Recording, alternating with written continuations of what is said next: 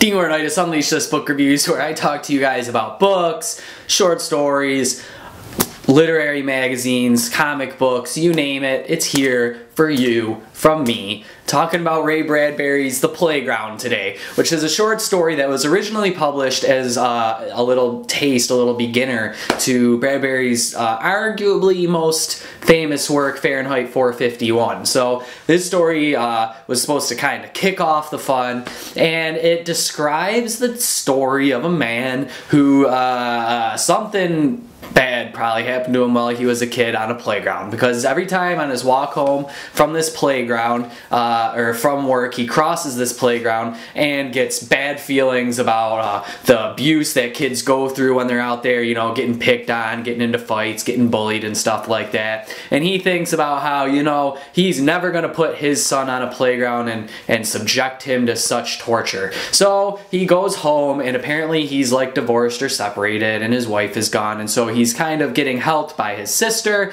uh, and his sister is telling him, you have to let this kid go out and play on the playground because he's going to have to grow up sometime, you know, someday he's going to go to school, and the dad says, no way, I'm never going to subject my kid to that, I'll have him homeschooled if that's what it takes, and it's a big fight, and all the dad wants to do is save the child from the poor uh, bad things that happen to you when you grow up that happen to all of us, right? We can all understand that if we were to be a father to a child wanting to save him from that. And that's what the story revolves around. Now, of course, Ray Bar Bradbury wouldn't write anything if it didn't have a little bit of weird, twisty, science fiction-y type stuff to it. And this story that's included too, but that is uh, that would probably be a spoiler, so we're gonna leave that alone.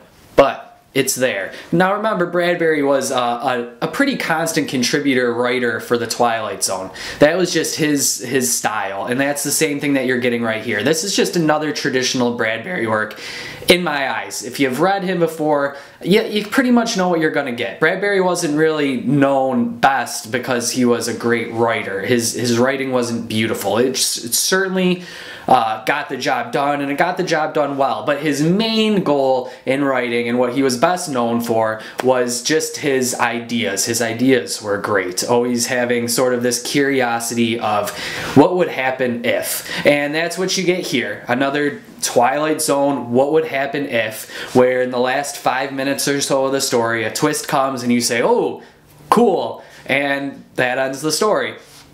Would I say that this is one of the best twists?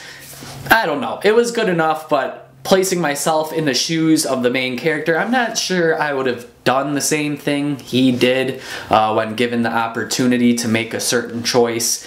And that you know that little that little bit can tweak you because you like to put yourself in the shoes and believe that this character is acting in the same way you would act most of the time especially when you're reading stories like this. Um, so yeah might maybe not his best but certainly well worth reading if you're a fan of Bradbury or science fiction type twisty short story things very well defined, Dean.